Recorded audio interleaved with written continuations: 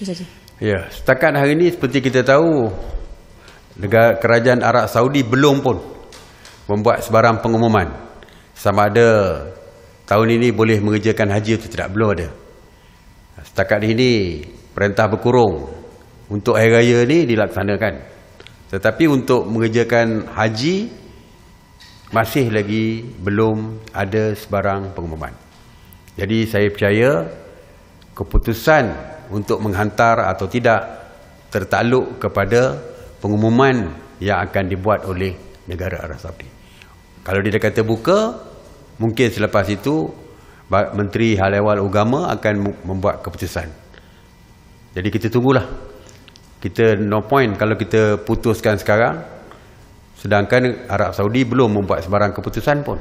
Jadi uh, Menteri Hal Ehwal Agama saya percaya akan menunggu keputusan daripada Arab Saudi dulu. Ya, once dia dah buat keputusan dan mungkin Menteri Hal Ehwal Agama akan membuat pengumuman tentang apa yang akan dilakukan oleh Malaysia. Okey, kita tunggulah.